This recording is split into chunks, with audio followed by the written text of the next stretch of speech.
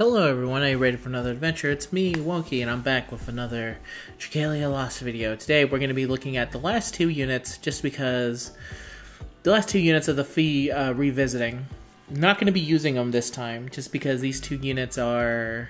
Well, I'll get into it at the end anyway. When I well, I explain. There's a reason why I'm not using them for the specific events you would want to use them for. Um, but yeah, that's going to be today's video. So we're going to do a quick look through them, look at what they do, and then kind of in general think about what they could possibly do. Uh, so yeah, that's today's video. And again, if you end up liking it, leave a like. If you want more Dragalia stuff or video stuff in general, you can subscribe to me. Now let's get into it. So first unit up is Fjorm. Uh, it's Fjorm and Alphonse, I should mention. If you want to see Martha and Veronica, they have their own two separate videos in another. Um, they have their own two separate videos, so you can check my channel again. Subscribe. Uh, we got Fjorm, and then, oops, let me move my mic. She has Frigid Smash, She deals water damage to the enemies directly ahead, and inflicts freeze. Inflict, inflicts, inflicts freeze. Ice Mirror summons an Ice Mirror that deals water damage to the target and nearby enemies. Additional bonus damage will be dealt relative to the damage taken while Ice Mirror is active. HP 9%. Well, she's not 50, so she uh, but she's he has, she has an HP co ability and chain co ability is Frostbite equals user strength up 6%. Last Bravery increases the entire team's strength by 30% and defense by 40% for 15 seconds when the user's HP drops 30% once per quest. Burn resistance 100%, and skill prep is at 75%, and that's basically it. So yeah, this is Fjorm. Uh, so the first thing I should mention, let's go back to her skills for now. So Ice Mirror is the one move from her that I think needs the most work for the specific mana spiral she's about to get. The reason I say this is because I really like Ice Mirror on paper. The idea of like, oh, you just tank a hit and then you deal way more damage. The problem with it though is that you have to still tank the, the hit, meaning that you take full damage and if you die, then guess what? You're about to get completely wrecked because if you die during Ice Mirror, there's no defensive buff. There's no like, oh, take reduced damage or anything. It's literally the damage you take, you deal back to the enemy.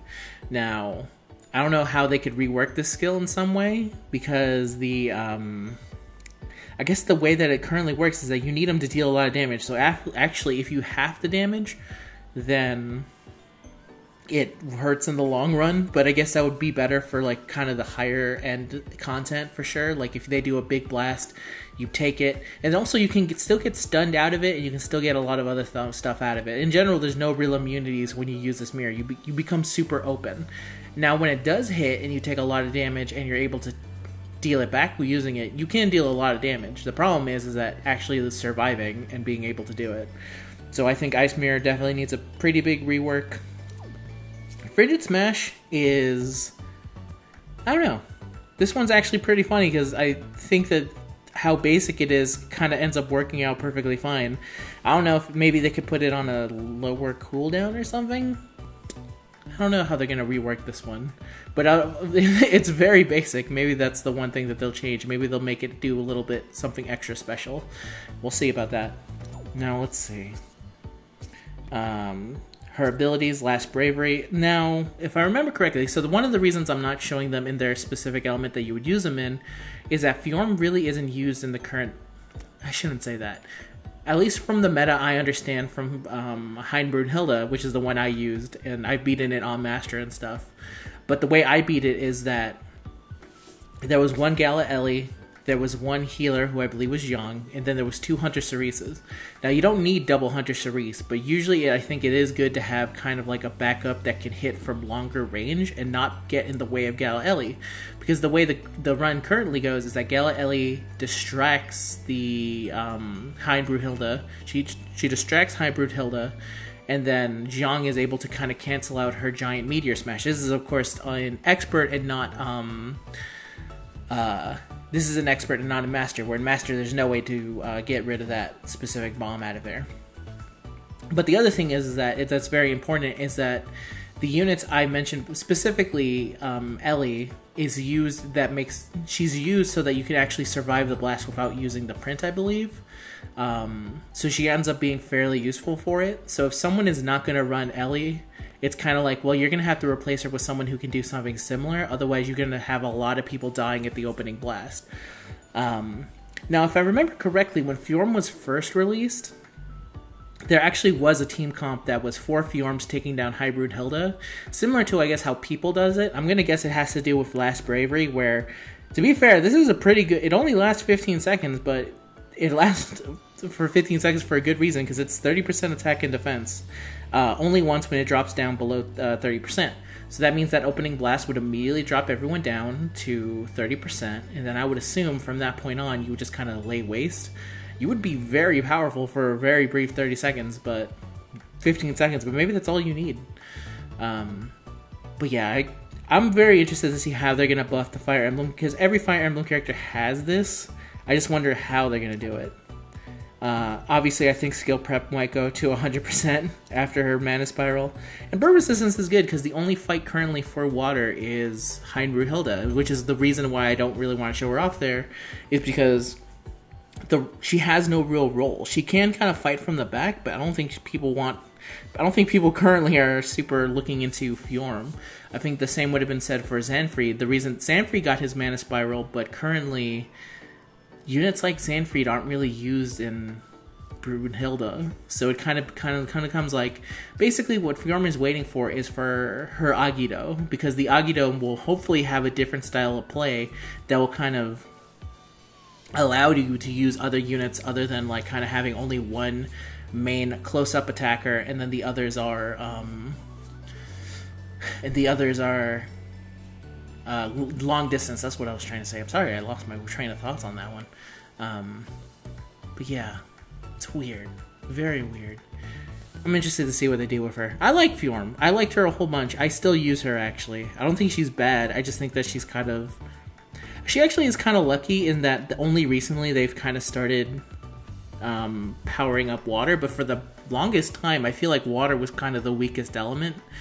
Um, to show how weak it is, Hunter Cerise completely kind of didn't destroy the meta, but she definitely was like able to make cut entire minutes off of Hilda when she was released. It also is the only element I think that has problems autoing their main boss, which is um, Void Battle boss, which is uh, Void Agni. But to be fair, Void Agni is a pain in the butt, so not really their fault. But yeah, that's what Fjorm does. Looking forward to her Mana Spiral. If you if you're still playing Fjorm, by the way, you can tell me what you think could kind of be improved of it. Someone actually who played a lot of Veronica actually gave a lot of good feedback of like, oh, one of the big problems with Veronica is the fact that she doesn't have a skill that drops her below 30%, like all the other Shadow Berserker units. Um, so it actually is kind of tough for her to get there because she has to do it from manual damage. And to be fair, when I was actually testing her, I was having trouble getting her below thir- like below HP because it's actually kind of tough now. Um, so yeah, that's her. So again, if you're playing Fjorm a lot and you have some thoughts on Fjorm, drop them down and I will, I'll read to see what's going on. And of course, if you have any idea for the other units, tell me what you feel um, you would want out of them. Now for Alphonse. Alphonse, he has Blue Radiance, increases the user's strength by 10% for 10 seconds and deals light damage to the enemy directly ahead. Sol deals light damage to the to surrounding enemies and restores 3% of the H, of the damage inflicted as HP as the user. Hmm? Deals light damage to the surrounding enemies and restores 3% of the damage inflicted as HP to the user. Uh, this recovery caps at 15% for their maximum HP. He has Dragon Haste and Light HP 60% equals Strength up. Light Burst. Uh, buff strength by 50% for 10 seconds when HP drops below 30%. Curse resistance 100%. And skill haste 6%. So, that's kind of what he does. He's very basic. Uh, he was the first ever free to play 5. It's him and then Mega Man are the two. And it seems like for the most part, crossover free to play uh, characters are all 5 stars. Um, so here's the main problem with Alphonse he's kind of greedy only to himself and that when when he was released he was okay. He's only gotten worse because other units um, that are kind of greedy for themselves um, like albert for example. Albert has a lot of crazy lightning stuff so he's able to make his like the fact that he's so solo focused doesn't matter because he can back up that damage. Alphonse only has 50% attack for um, 10 seconds, and it's only when his HP drops, and it's only once. So it's actually very bad. Because uh, after that, he kind of deals weenie damage, and you're not about to end a fight in 10 seconds. That's just not how this game operates for the most part.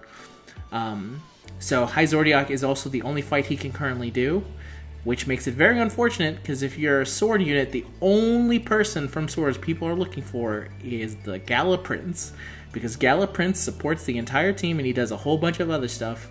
If you're not using Gala Prince, then you're kind of just wasting everyone's time. Ooh, I thought someone was coming to tell me something, but nope. Ghost. There's a ghost in my house. Uh, so yeah, kind of. I'm interested to see how his buff, because he badly needs one. He's not very good. He is. Uh, he is again okay, but he could be way better. For his time, he was okay. So over time, there's just better light sword units that you could use in general. Even if you had Alphonse, there's a bunch of other sword units that you could use over him that are not also the Gala Prince. So, including a, uh, oh, I think Odette is her name. Let me double. No, let me see.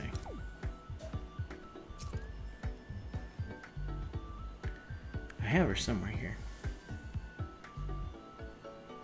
Mm, yeah.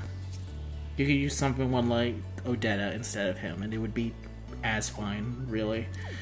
Um, so yeah, Alphonse, he definitely needs a buff. How they're gonna buff him, hard to know. Maybe they'll just make it so he deals 100% more damage when he's below 30% or something. Something crazy where it's like he's only good for 10 seconds, but those 10 seconds make a make or break a lot of things. To be fair, you can go 100% attack up would take you a lot of places. I don't know if that would really benefit Zodiark though. Funny thing is, is that I don't. The reason I'm not using him in High Zodiark is because I don't have a reason to play it. Because I can beat Kai Yan, and Kai Yan is where you get all the good shadow weapons. And currently, the only reason you want to fight Zodiark is for the medals, for um, awakening uh, light units when they get mana spirals, and not Alphonse is going to be the first light unit to get a mana spiral. so it's kind of like, eh, no real reason for me to go rush out and do it. Um, so yeah, that's the reason why there was no fighting. But hey, hopefully this makes up for the fact that I'm talking about him. And that's it for the Fire Emblem units. Only, I believe, two more days now. Today's the 17th. Tomorrow's the 18th. This, hmm, three days. Okay, three days. Um, yeah, three days. Again, time is weird for me. But yeah, that's today's video. I hope you liked it. If you did, leave a like, comment about how you're currently feeling about these two. How how hype are you for Fire Emblem?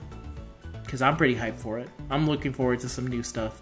Are you almost done with the Pinata event? Because I'm basically done at this point. There's nothing else for me to do besides Fire Emblem stuff at this point. So that's the end of today's video. And remember, if you need a uh, someone for videos, that's me. I play a whole bunch of videos. I play video games. I play Dragalia. I play Fate Grand Order. Um, a bunch of other gachas when the moods fight strikes me. Um, I like Bounty Rush. Oh, I love Bounty Rush. I play Power Rangers. Anything. There's so many things I do. You can just play play with me all night long. All right, goodbye, everyone. Have a nice day.